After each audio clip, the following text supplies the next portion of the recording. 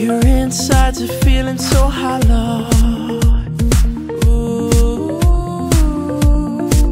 And it's a hard pill for you to swallow.